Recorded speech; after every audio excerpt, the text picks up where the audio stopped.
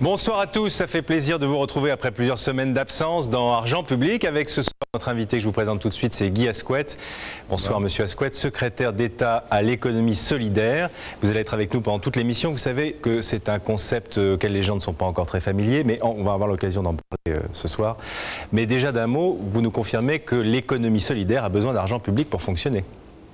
Il y a des entreprises, les scopes, les coopératives, les mutuelles ou celles qui développent du commerce équitable qui n'en ont pas besoin, qui s'inscrivent dans le marché. Il y a aussi ceux qui développent des services de proximité qui ont besoin effectivement d'un croisement entre ce que peuvent payer les gens qui achètent ces services et ce que les collectivités peuvent apporter pour les rendre solvables et les installer. D'accord, on va parler en détail de tout ça. Euh, on va parler beaucoup de votre région euh, au moment où on évoquera euh, l'épopée du club de Calais. Il y a quelques supporters qui sont venus avec nous ce soir pour continuer à vivre leur belle belle aventure. Donc voilà plusieurs raisons pour lesquelles vous êtes avec nous ce soir. On va tout de suite voir de quoi nous allons parler dans le détail. C'est le sommaire. Calais en finale de la Coupe de France, une belle histoire, une histoire qui rapporte. Une aubaine pour le club amateur, mais aussi pour la ville, qui espère bien en tirer profit. D'abord, le club, non seulement il n'a plus de dette, mais il, aura ce qu'on va appeler un trésor de guerre. Je suis à peu près persuadé qu'ils vont nous faire une équipe pour essayer de monter tout de suite en national. Alors Guy Asquette, vous êtes donc secrétaire d'État maintenant à l'économie solidaire, vous avez été longtemps euh, vice-président du Conseil régional Nord-Pas-de-Calais. Hein, vous voyez où, ans. Vous voyez où je veux en venir euh, petit à petit et faire une transition. Et je ne sais pas si c'est de l'économie, mais en tout cas, ils ont été très solidaires sur le terrain, sur les footballeurs de, Calais, sur lesquels nous allons revenir. Et nous, nous demandons ce qui se passe lorsqu'une équipe de footballeurs amateurs, payée au lance-pierre, mais la tête pleine de rêves, débarque comme ça dans la cour des pros jusqu'en finale de la Coupe de France. Que faut-il retenir de cette magistrale leçon donnée au football français de haut niveau, qui par ailleurs est incapable de tenir son rang en Coupe d'Europe? Faut-il en déduire qu'en sport on peut réussir sans argent, ou bien que l'exploit de Calais peut s'expliquer justement par un nivellement par le bas et aussi par l'endettement record de ce club, ce qui d'ailleurs peut faire réfléchir aussi sur la notion exacte d'amateurisme. Nous allons donc revenir sur toutes ces questions au travers de l'aventure de Calais, aussi sur celle-ci. Comment Calais, qui a reçu un pactole inespéré d'environ 10 millions de francs, va-t-il s'y prendre pour retenir les héros qui sont très, très sollicités par des très grands clubs euh, français ou européens? C'est ça aussi l'épopée désormais de Calais, confronté contre son gré aux dures lois du marché, du sport professionnel. Reportage de Véronique Tavo et Pierre Toury. Ils y auront cru jusqu'au bout. Ce 7 mai, des milliers de Calaisiens savent pourtant que l'aventure du petit poussé finaliste inattendu de la Coupe de France vient de prendre fin. Ils savent que l'équipe qu'ils soutiennent depuis le début ne sera plus jamais la même, que beaucoup de joueurs risquent d'être happés par d'autres clubs plus prestigieux. Que d'amateurs, beaucoup ont des chances de passer professionnels. Ils savent que tout cela, c'est aussi la loi du sport et de l'argent. Malgré la défaite, un seul cri résonne ce soir-là. Merci Calais.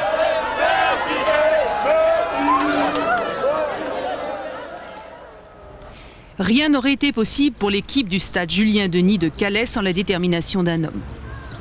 Lorsqu'il reprend le club il y a deux ans, Claude Thiriot, le manager général, est loin de se douter que son club est au bord du dépôt de bilan.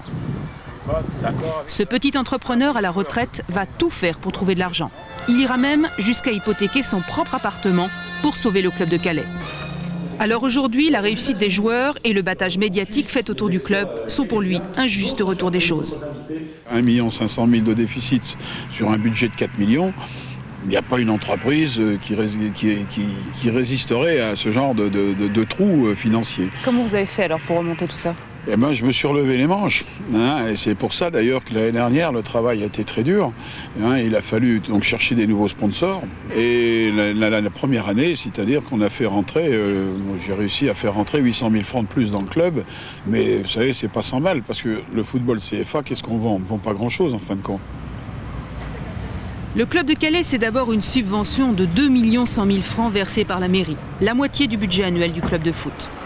Une subvention importante pour un club amateur, mais au-delà du football, l'aventure des joueurs calaisiens va sans doute permettre de générer de l'argent. C'est en tout cas ce qu'espère son maire, grâce notamment à la médiatisation faite autour de l'équipe de foot. S'il avait fallu, pour une petite ville de 78 000 habitants, acheter une campagne de promotion comme celle que vous nous avez offerte, ça se chiffrerait en millions de francs.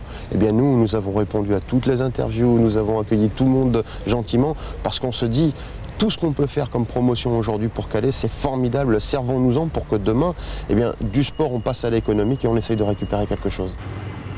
Récupérer de l'argent, c'est aussi ce qu'espère France, la compagnie calaisienne de ferry, sponsor officiel de l'équipe de Calais depuis plus d'une année.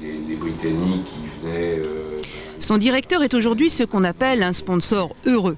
Avec 300 000 francs de contribution annuelle, la couverture médiatique de l'équipe lui a déjà permis de diffuser l'image de sa compagnie sur l'ensemble du territoire français. Les champions. Une campagne de pub à moindre frais. Le retour sur investissement, si euh, il faut parler de cette manière, est très fort, hein, c'est clair. Hein. Vous pouvez le chiffrer?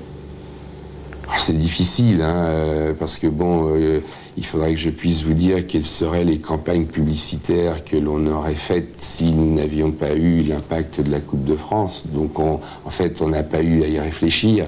Euh, mais bon, euh, il est clair que ça, se traduit par plusieurs dizaines de, euh, centaines de milliers de francs. Quoi, hein, Mais pour qu'un club fonctionne, il faut aussi un bon entraîneur. À Calais, tous l'appellent la 10. Et le foot, il connaît bien. Depuis des années, ce chef de service à la mairie la journée entraîne les joueurs de l'équipe le soir. Le tout pour un salaire de 20 000 francs. Ladislas Lozano peut se vanter d'avoir réussi un pari, amener ses joueurs jusqu'au Stade de France. Mais pour le bouillant entraîneur de Calais, le foot c'est avant tout une philosophie, un état d'esprit qu'il a fait partager à ses joueurs. Le foot amateur, c'est avant tout le foot passion.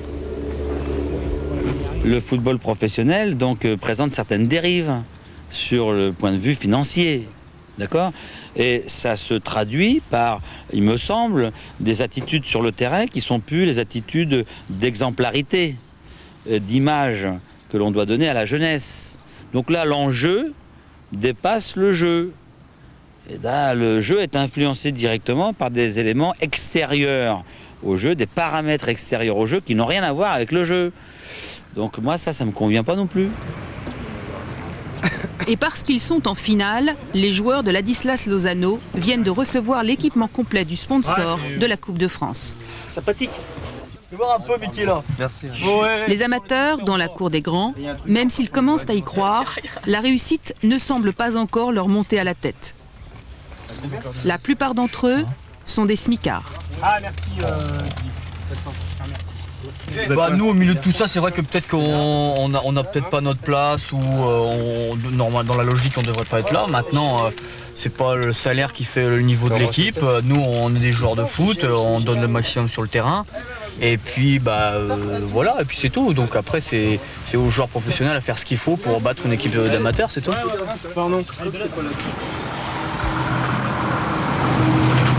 Dernier préparatif, dernier match pour l'équipe de Calais avant la finale dans 4 jours au Stade de France. Ce jour-là, il joue à Lens devant un public clairsemé contre l'autre club amateur de la ville. Un match pour s'entraîner, sans véritable enjeu, si ce n'est la présence des photographes et des caméras. Une médiatisation comme pour les plus grands, et dans les rangs de Calais, on commence à se prendre au jeu. On a joué pour les caméras pour une demi-heure, on vous a fait plaisir là, tout à l'heure. On n'a pas perdu, hein c'est très important. J'étais fatigué, je le savais, d'accord Alors on va crier comme si on avait gagné parce qu'on le mérite. Ok les gars, et pour gagner les buts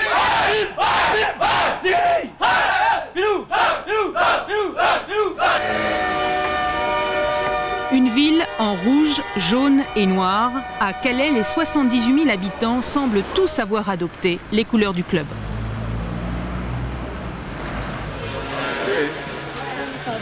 La boutique des supporters ne désemplit pas et le tiroir caisse non plus.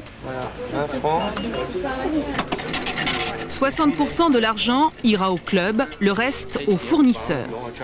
Et la recette quotidienne, à quelques jours de la finale, est plutôt confortable.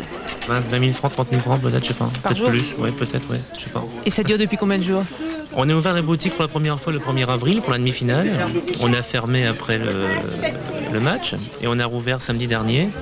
Et depuis samedi, mais c'est la folie. Là, c'est la folie, c'est tous les jours euh, complet, c'est non-stop. Et pour fermer le midi, pour manger, on est obligé de, pousser les gens dehors parce que sinon, on ne mange pas le midi. Le soir, c'est pareil. Et les joueurs aussi viennent faire leurs achats à la boutique, pour la famille, disent-ils, comme de simples supporters. Pour Réginald Beck, le capitaine de l'équipe, l'occasion de profiter des tout derniers jours de vacances. Comme les autres joueurs, il travaille dans une petite entreprise de Calais. Donc je suis attaché commercial chez Roche Diffusion qui fait de l'agencement et de la décoration d'hôtels, bars, bar, restaurants. Et donc là, donc là, je gagne 5500 francs par mois net. Donc, euh, mais bon, c'est normal puisque ça fait 5 mois que je suis dans la boîte. Et vous pensez que si vous gagnez, vous allez avoir une promotion? Non, je pense pas. Non, non, non, je pense pas du tout. Euh, parce que c'est deux choses bien différentes, le travail et, le football. Maintenant, euh, bon, bah, euh, disons que ça me permettra peut-être de renouveler mon contrat, puisque mon contrat se termine au 30 mai. Considérés comme de véritables stars chez eux, les joueurs de Calais gardent pourtant la tête froide. Ils sont sûrs de ne vivre qu'une seule fois l'aventure de la finale. Alors même s'ils ne connaissent pas encore le montant de leur prime de match, ils répondent placement lorsqu'on leur parle argent. À partir du moment où euh, le club euh, financièrement s'est stabilisé et euh, récupère de l'argent par la, fédération vu les tours qu'on a passés en Coupe de France, donc bah, match exceptionnel, prime exceptionnelle. maintenant, c'est sûr que bah, c'est quelque chose qui va sûrement plus nous arriver avant bien longtemps. Qu'est-ce que vous allez faire avec cet argent On peut vous demander Oui, on peut me le demander. Pour l'instant, je ne sais pas parce que je n'ai pas été habitué à, gagner une somme d'argent aussi importante. Donc je ne sais pas, et sûrement pour le placer parce qu'il ne faut pas faire n'importe quoi non plus. Il faut bien garder la tête sur les épaules et, donc sûrement une grosse partie en placement. Pendant ce temps, côté supporters, c'est la ruée devant le stade de Calais. Les toutes dernières places pour le Stade de France sont mises en vente à 4 jours de la finale. 3000 places, pas une de plus, elles viennent d'être débloquées par la Fédération française de football. 18 000 supporters calaisiens vont donc faire le déplacement à Paris. Prix de vente de la place, 70 francs pour les moins chers, 500 pour les plus chers, au tarif officiel. Allez, par l'instant, on est parti essayer de gagner un peu de sous au tiercé parce que ça coûte cher tout ça. Mais déjà, le marché noir est florissant. Il y a beaucoup de gens de Lens, de Paris, qui nous vendent des places. Euh, je passe 1200, oui. Qu'est-ce que ça, vous fait quoi quand vous entendez ça, euh, Moi, je trouve que c'est dommage parce qu'il y a beaucoup de gens qui ont galéré pour avoir des places et qui, n'en ont pas eu. Et, maintenant, il y a beaucoup de places qui sortent, qui sortent et à des prix quand même. Euh, c'est dommage. Enfin le grand jour pour des milliers de supporters. Pour tous ceux qui n'ont pas pu aller à Paris, la mairie a installé un écran géant dans le complexe sportif de la ville. Un écran objet d'une polémique quelques jours plus tôt entre la mairie et TF1. La chaîne réclamait 90 000 francs à la municipalité de Calais pour la retransmission du match. Non, a dit le maire, pas question de payer alors que c'est Calais qui fait l'événement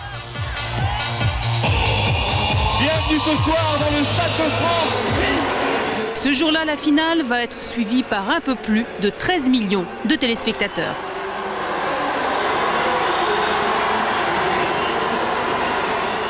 Nantes, vainqueur de la Coupe, va recevoir 12 millions de francs, une somme versée par la Fédération française de football pour l'ensemble des matchs joués jusqu'à cette finale. Une somme qui englobe aussi une partie des droits de retransmission télévisée.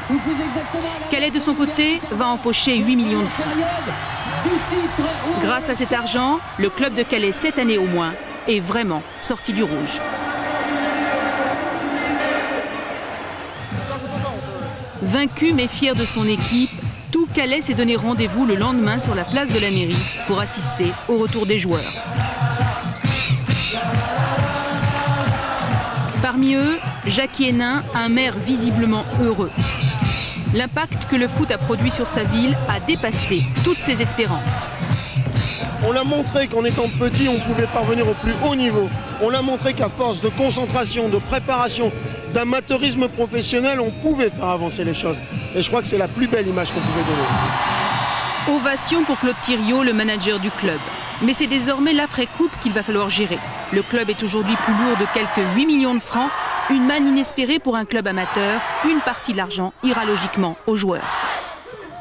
Le club, c'est une chose, le club a son budget, hein, mais tout ce qui est revenu après grâce à la Coupe de France, c'est quand même à eux. Donc c'est normal qu'on leur redonne une bonne partie. Ils auront combien? Vous avez un chiffre? Oh, ils vont avoir, euh, je sais pas, ils vont, hein, ils vont avoir 150 ou 160 000 francs quand, ça- quand tout sera fini.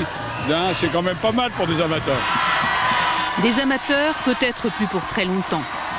Certains d'entre eux vont sans doute aller vivre d'autres aventures loin de Calais. Plusieurs joueurs ont déjà été approchés par des clubs professionnels de deuxième division et même des clubs étrangers. Et même si aujourd'hui ils se refusent encore à parler de transfert, il est certain que cette bande de copains qui a vécu la belle aventure de la finale de la Coupe de France ne se retrouvera pas ensemble sur le terrain du stade Julien Denis de Calais la saison prochaine. Voilà, je voudrais saluer les supporters de Calais qui sont venus euh, avec vous, Claude Thiriot, manager général du club qu'on a vu, euh, qu'on a vu dans, le, dans le sujet de Véronique Tavo. Un mot, Guy Asquette, je parlais de leçon de, de Calais, c'est quoi la leçon de Calais pour vous? Moi, quand je j'ai- vous aimais tirer parce que c'est vraiment la belle histoire. euh. Non, non, mais ça fait plaisir, quand, en plus quand on aime le football et qu'on est de la région. Mais je veux dire que ce qui, moi, m'impressionne dans les interviews de Ladislas Sozano ou de Gérald, Gérald- Gé- pardon, euh, le capitaine Beck, c'est les qualités morales, ce qu'exprime l'entraîneur, ce qu'expriment les joueurs qui, qui restent très sereins face aux événements, qui ne se prennent pas la grosse tête, pourvu pour eux que ça dure et qu'ils ne soient pas ouais. les victimes de leur succès, parce que je crois qu'ils ont vécu une aventure formidable. On va voir si ça va durer avec Claude Thiriot. Déjà, pour vous, première conséquence, c'est que vous avez pu, je pense, j'espère, lever l'hypothèque sur votre appartement. Oui, oui, ça a été fait. Ça a été fait déjà depuis quelques temps. Mais il fallait le faire parce que euh, quand on donne la parole, quand on donne sa parole à des joueurs, quand on donne sa parole à des amateurs qui ont un petit fixe, qui ont un complément de salaire par rapport à leur salaire qu'ils ont, parce qu'à Calais, tout le monde travaille. Donc euh, il n'y a pas de joueurs qui ne travaillent pas. Donc ils ont des emplois où ils gagnent 5 6 000 francs. Bon, les joueurs viennent jouer chez moi pour 8, euh, dans le club de Calais, pour 8 ou 9 000 francs. Donc nous donnons le complément. Donc ce complément, il faut l'assurer. Il n'y avait plus d'argent dans le club, euh, et je peux vous dire que quand la banque a lâché, hein, moi je suis un homme de parole. Et beaucoup de dirigeants avaient dit, bon, on va faire comme beaucoup de clubs de CFA, hein, on ne va pas payer les joueurs les derniers mois. Si on avait fait ça, il n'y aurait pas l'équipe de Calais d'aujourd'hui. Hein, ce que j'ai dit, ce que j'ai assuré, j'étais contre, j'ai fait le nécessaire pour que ça arrive, aidé par le président André Roche, hein, qui m'a donné carte blanche là-dessus, mais qui n'a pas beaucoup de temps à consacrer, étant donné qu'il est artisan. Hein, ce que j'ai fait, c'est respecter la parole donnée, et eux ont respecté leur parole aussi, ils ont été jusqu'au bout. S'il n'y avait pas eu ça, ils seraient partis. Toute proportion gardée, vous avez les- des problèmes financiers comme dans n'importe quel club et que ces problèmes sont importants. Il faut les régler pour que le club continue et fasse une bonne saison. hein. Oui, non, mais le- Donc le- L'argent, à, à- à divers euh, niveaux et proportions, l'argent est quand même important. Oui, mais le déficit était quand même important. Puis Ah le oui, déficit, colossal, oui. hein, il était colossal, parce que c'est un déficit que j'ai découvert, mais qui date de 10-12 ans. Donc jusqu'à présent, c'était la banque. Il y avait une banque qui faisait le relais, qui, faisait, qui accordait un découvert, c'était pas un prêt. Et quand les subventions arrivaient, la banque se resservait avec les agios, naturellement, qu'on ne discutait pas. D'ailleurs, vous voyez à quel taux on les payait. Et à partir de ce moment-là, euh, on ne pouvait pas fonctionner comme ça. Parce que la, la mairie, la mairie avait quand même fixé une limite qu'elle ne dépasserait pas pour son engagement. Oui, je l'ai dit et je le répète et je le redis aujourd'hui, la subvention que la mairie de Calais donne pour un club de CFA, c'est une très bonne subvention, 2 millions de francs, puisqu'il y a 2 millions et, et 100 000 francs pour la jeunesse, parce que nous avons beaucoup de, hein, nous avons 400 licenciés, beaucoup de jeunes. Ah bah, si, hein. si Calais n'avait pas fait finaliste de la Coupe de France, on aurait dit que ça coûtait beaucoup d'argent à la municipalité, ça c'est sûr. Non, mais la subvention, c'est une subvention qui existe depuis tout le temps. Hein, pourquoi? Parce que nous, sommes un club amateur et un club formateur, éducateur. Ce qui est la réussite de Calais, c'est en fin de compte euh, 27 équipes qui, qui fonctionnent tous les dimanches, avec euh, trois entraîneurs diplômés, 27 éducateurs et moniteurs. Et je crois que de ce côté-là, Calais fonctionne très bien depuis très longtemps. Et je crois que la mairie a compris. Pourquoi on a 2 millions Parce qu'on fait de la formation. C'est c'est de l'économie solidaire? Alors sur les services et, et l'accès au sport et tous les services et les métiers qui naissent autour du sport, peux vous assurer que dans toute la région, l'ensemble du monde, des bénévoles du monde sportif a fait beaucoup de choses depuis 5 ou 6 ans, c'est très net. Ah, maintenant, comment on arrive à pérenniser ces emplois d'éducateurs, d'encadrement des jeunes? ils n'ont pas eu besoin qu'on les aide, visiblement. Ah, il y a quand même des dispositifs, je laisse euh, le manager du club le dire, sur les emplois jeunes ou autres, je veux une partie des dispositifs où le club a su créer aussi des emplois ou accueillir des jeunes. Oui, c'est vrai. Moi, j'ai fait des dossiers pour avoir des emplois jeunes, mais des emplois jeunes, des vrais emplois jeunes. Hein, ce qu'il ne faut surtout pas faire aussi pour un club sportif, c'est créer un dossier de faire un emploi jeune et que cet emploi ne soit pas euh, euh, réalisé. Moi, mais les gens qui ont des contrats jeunes, ils font leurs 30 heures par semaine.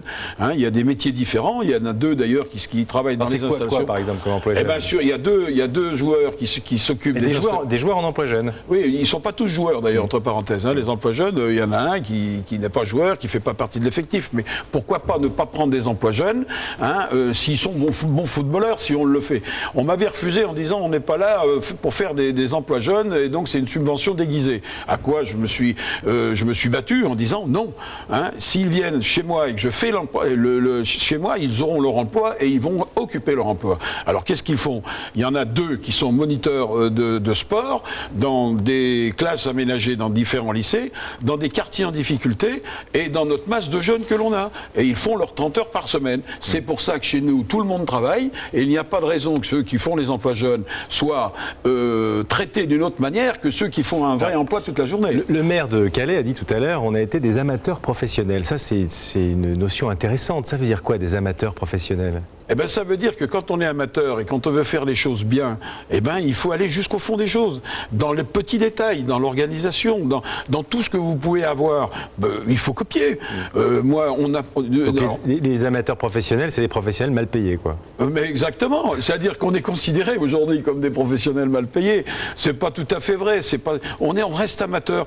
Ce qui a fait notre solidarité, ce qui a, ce qui a fait notre force cette année, c'est l'union que les joueurs. Voilà ce que nous avons fait depuis deux ans. Une union parfaite, une communion parfaite, tout en euh, tout en restant les pieds sur sur terre. On nous dit mais euh, vous allez vous allez faire quoi? Non, on a joué match par match. On joue les matchs de championnat. On a on a joué les, les, les quarts. On a battu Strasbourg. On a fait notre match de championnat. On l'a fait comme un match de championnat normal, sans s'occuper du quart de finale qui venait de passer.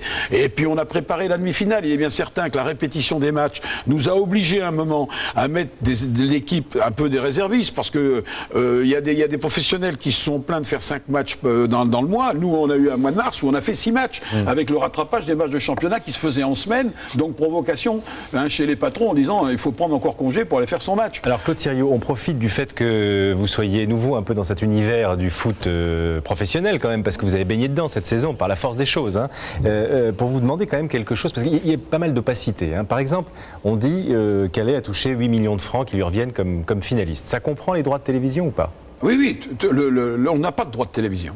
Ah oui, alors. Le droit de télévision, c'est la fédération qui les touche. Et Elle- la fédération. elle, vous, elle vous en rétrocède. Elle dans- dans- on, a, on a été en demi-finale, on a gagné les demi-finales, on a gagné 8 millions de francs. Si on avait perdu en demi-finale, on avait Ça, acquis les droits 4 de télé. millions de francs. Ça, c'est les droits C'est pas les droits de télé, c'est la fédération qui nous donne ça. Comment elle, comment elle les récupère, ça c'est son problème. Vous ne trouvez pas que c'est- quand même pas beaucoup pour 13 millions de téléspectateurs, rien que pour la finale? Vous vous dites Ah, pas ça- quand même, on a fait un spectacle 13 millions de téléspectateurs, c'est Oui. mince quand même, non? Non, c'est vrai, euh, le retour, le retour sur euh, l'audimat, comme on peut dire, euh, n'est pas cher payé. Bon, enfin, j'exagère que quand je dis ça, c'est qu'un un club amateur, c'est peut-être pas cher pour euh, 4 millions de plus pour un club professionnel. Mais quand un club amateur fait le spectacle, c'est la télévision, c'est du spectacle. Exactement, ça c'est vrai. Euh, il est- mais on va avoir le retour quand même. Indirectement, on n'a pas ce gros Ah. retour tout de suite, cette manne financière, mais on l'a déjà un petit peu indirectement dans la préparation des années à venir. Donc vous allez éventuellement prendre quelques petits rendez-vous à la Fédération française de football pour euh, demander une petite rallonge, non? Pas du tout, non, ça j'ai aucune, j'ai aucune chance de la. je C'est crois ça, que- c'est l'esprit, mais c'est euh, qu'est-ce que vous en pensez, Guy On sent qu'il y a l'esprit effectivement amateur. L'argent, c'est pas, on le sait depuis le début, c'est pas ce qui les intéresse. Sinon, ils feraient pas, euh, ils feraient pas ce qu'ils font. Mais quand même, est-ce que vous trouvez qu'ils sont, il y a un juste retour des choses? Non, mais je veux dire, l'argent. Parce que pendant ce temps, il y a des gens qui gagnent de l'argent sur eux. Non, mais sans doute. Mais ça, je veux dire, le principe de la, de la fédération, il est vrai pour tous les clubs. Derrière, c'est toute une infrastructure, c'est des arbitres, c'est des entraîneurs, c'est des, subventions dans toute la ramification, dans toute la pyramide, du, du- depuis le niveau le plus amateur jusqu'en haut. Je crois qu'on ne peut pas, euh, je dirais... Moi, j'ai toujours été surpris, on considère que le sport, il n'y a qu'un sport d'élite. Non, ça passe par tous les strates et qui sont faites de milliers, de centaines de milliers de bénévoles Donc dans vous vous le vous pays. êtes jamais demandé de savoir s'il y avait suffisamment de cette part des droits télé qui revenait au club, aux joueurs, etc. Non, il faut peut-être s'interroger par contre sur les déséquilibres qui font qu'on arrive à, à- à ne pas protéger des jeunes qui, à 15 ans, se font acheter par des clubs à l'étranger. Enfin, je crois qu'il faut, il faut sans doute mettre un peu d'ordre dans des pratiques comme celle-là. Il y a beaucoup de, de joueurs de Calais qui, qui- qui s'en vont. Vous pouvez nous le dire ce Ouais, soir ben, vous verrez, euh, Ah bah non, moi je suis toujours patient tous les ans. Hein, vous savez, la période des transferts, coupe ou sans coupe, euh, c'est une transhumance qui se fait dans les deux sens. Qui, ce qui fait la force d'une équipe, c'est de garder déjà son effectif. Comment vous allez faire pour les garder? Eh ben, vous verrez. On sera- moi, je vais jeudi et j'assure aujourd'hui que beaucoup de gens seront surpris. Euh, l'année prochaine, ils reverront encore beaucoup de noms qui existent aujourd'hui l'année prochaine. Avec des petites augmentations quand même ou... bah, Il est bien certain qu'on va peut-être discuter quand même un peu, parce qu'on a les moyens peut-être de discuter un peu. L'année dernière, euh, on discutait avec un déficit, donc euh, c'est tout à fait normal, ils le méritent. Je l'ai dit tout à l'heure. Ils ont touché une prime, une prime qui est grande, c'est une grosse prime pour eux, mais par rapport au rapport qualité-prix qu'ils ont donné aussi à- au club, ils ont hein, le déficit est effacé.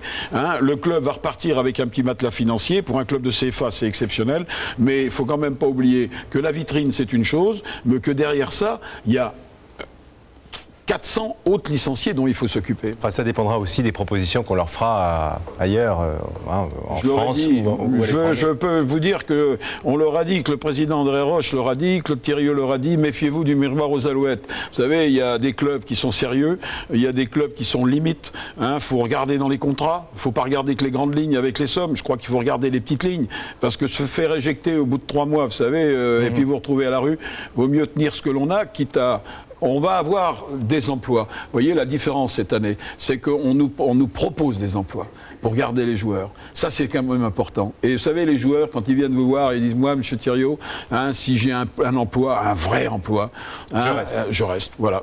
Merci beaucoup Claude Thiriot.